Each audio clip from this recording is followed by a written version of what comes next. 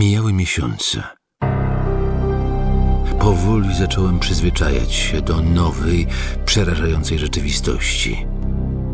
Jednak stary cmentarz, na który dane mi było wkroczyć, na zawsze odmienił moje dotychczasowe życie. A stało się tak za sprawą spadku, jaki otrzymałem po moim zmarłym wuju. Był to dość skryty człowiek, wiodący życie samotnika. Wynajmował on pokój na poddaszu w jednej z biedniejszych ulic stanu Vermont. Wszystko, co zostało po nim w owym pokoju, zostało starannie zebrane i zapakowane, po czym za sprawą urzędników trafiło w moje ręce. Było tam sporo książek o różnorakiej tematyce, kilka walizek z ubraniami i różnymi przedmiotami codziennego użytku.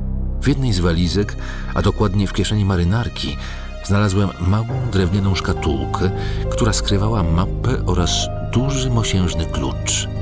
Podczas przeglądania mapy znalazłem narysowane na niej czerwone kółko z podpisem Summerstown 26 Cemetery Street. Jako, że odziedziczyłem po mojej rodzinie małą fortunę, nie musiałem pracować i często narzekałem z powodu braku zajęcia. Nie musiałem więc się specjalnie zastanawiać, co dalej z tym zrobić. Następnego ranka byłem już w drodze do Vermont, a wieczorem dotarłem do Summerstown. Okolica, składająca się z wąskich uliczek, wypełniona była domkami jednorodzinnymi oraz pojedynczymi drzewami. Nie licząc braku jakichkolwiek przechodniów, mimo dość wczesnej pory, to nic nie zwróciło szczególnie mojej uwagi. Szybko więc pomaszerowałem w stronę Cemetery Street, zostawiając za sobą te posępne domki. Asfaltowa droga kończyła się na numerze 18 i dotarcie do mojego celu okazało się sporym wyzwaniem. Jednak na przekór wszelkim trudnościom udało mi się dotrzeć do sporego kopca z kamiennymi łukami oraz żelaznymi drzwiami. Tabliczka z adresem umieszczona na jednej z kamiennych ścian upewniła mnie, że dotarłem na miejsce. Drzwi stare, lecz bardzo solidne, zamknięte były na kłódkę. Spodziewałem się tego i z ekscytacją sięgnąłem do kieszeni po mosiężny klucz. Pasował idealnie. Zdziwił mnie jednak fakt, z jaką łatwością kłódkę oraz drzwi mi uległy. Ktoś widocznie często tu zaglądał. Od razu po otwarciu wrót uderzył mnie jakiś intensywny zapach, przypominający trochę kadzidła albo jakieś olejki zapachowe. W środku panował mrok. Oświetliłem sobie drogę małą latarką, którą miałem ze sobą i rozpocząłem zwiedzanie pomieszczenia. W ogólnym zarysie pomieszczenie przypominało kryptę, jednak ktoś przerobił ją na jakiś inny własny użytek. Sterty książek rozsiane były praktycznie wszędzie – Oprócz tego znajdowały się tu półki z różnymi słoikami i fiolkami z nieznaną mi zawartością, których wolałem nie otwierać. Wielkie biurko, na którym rozsypane były jakieś papiery, wyglądające na równie stare albo nawet starsze niż ten grobowiec. Obok biurka Rozmieszczona była też jakaś aparatura, składająca się z fiolek, palników i innych dziwnych przedmiotów połączonych ze sobą szklanymi rurkami, prowadzącymi do jednej sporej probówki, wypełnionej fioletową substancją. Chwyciłem za ową fiolkę i zacząłem się jej przyglądać, gdy niespodziewanie z wnętrza krypty wyleciało stado nietoperzy. Przestraszyłem się i upuściłem fiolkę, która rozbiła się na obrośniętej mchem kamiennej podłodze. Z powstałej w ten sposób kałuży fioletowej mazi zaczęły wydobywać się gęste kłęby dymu. W kilka sekund cała krypta wypełniona była tymi duszącymi oparami. Szybko pochwyciłem z biurka rozsypane papiery i czym prędzej opuściłem pomieszczenie, zamykając za sobą drzwi na kłódkę. Mimo tego dym zaczął przenikać przez wszystkie szczeliny, wydostając się powoli na zewnątrz. Obawiałem się, że ten widok może przyciągnąć uwagę tutejszych mieszkańców, więc oddaliłem się od krypty i udałem w stronę głównej ulicy, gdzie udało mi się złapać taksówkę. Powrót był nużący, lecz z powodu ogarniającej mnie ekscytacji nie byłem senny. O świcie byłem już u progu mego domu w New Hampshire. Zapłaciłem kierowcy i od razu udałem się do mojej pracowni, aby przyjrzeć się papierom zabranym z biurka krypty.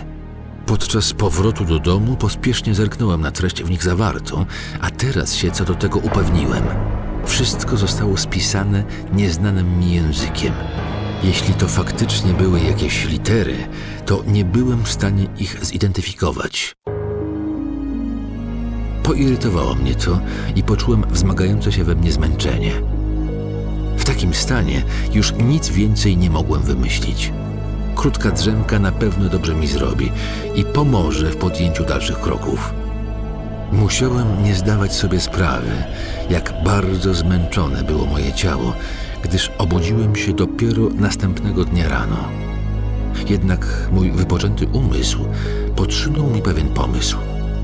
Zacząłem przeglądać rzeczy należące niegdyś do mojego wuja w poszukiwaniu odpowiedzi. Po około godzinie wśród książek znalazłem jego dziennik. Zaparzyłem sobie kawę, przyrządziłem lekki posiłek i zabrałem się do lektury. Przez pierwsze kilkanaście stron wuj opisywał swoje codzienne sprawunki i przemyślenia dotyczące jego życia. Jednak dalsza część dziennika była już naprawdę niepokojąca, ale i interesująca. Dzień pierwszy. Udało mi się znaleźć idealne miejsce do moich badań. Tutaj będę miał o wiele więcej swobody. Dzień drugi. Sporo myślałem nad kupieniem tych manuskryptów. Powinny mi bardzo pomóc. Muszę jakoś zdobyć pieniądze. Dzień trzeci. Ten szarlatan oszalał. Żąda za niezbyt wiele. Skąd niby miałbym mieć dziesięć tysięcy? Umówiłem się z nim na jutro, pod cmentarzem. Będę musiał coś wymyślić. Dzień czwarty. Zrobiłem, co musiałem. Ten szaleniec nie pozostawił mi wyboru. Najważniejsze, że mam manuskrypty. Problemem, jaki pozostał, zajmę się w nocy. Dzień piąty. Wszystko idzie zgodnie z planem. Powoli zaczynam rozszyfrowywać manuskrypt. Rozwiązałem też wczorajszy problem. Myślę, że pan Ritterford nie obrazi się z powodu nowego lokatora. Dzień szósty. Pierwszy manuskrypt zawiera listę potrzebnych komponentów. Cholera, niełatwo będzie je zdobyć. Dzień siódmy. Rozszyfrowałem resztę manuskryptów. Jutro przygotuję aparaturę. Dzień ósmy. Udało mi się skompletować składniki. Dzień dziewiąty. Aparatura przygotowana.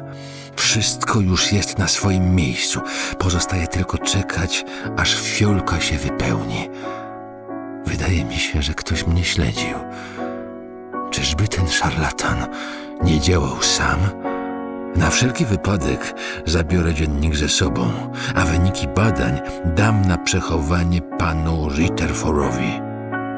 Resztą zajmę się jutro. To był ostatni zapis. Mój wuj na stare lata postradał zmysły. Ale co go do tego doprowadziło? I czym była ta ciecz w fiolce, nad którą pracował i którą ostatecznie stłukłem w krypcie? Myślę, że wyniki badań, o których wspominał w dzienniku, rzucą trochę światła na tę mroczną sprawę. Najrozsądniej będzie zacząć od spotkania z panem Ritterforem. Nie tracąc czasu, spakowałem manuskrypty, wezwałem taksówkę i wyruszyłem z powrotem do Summerstown.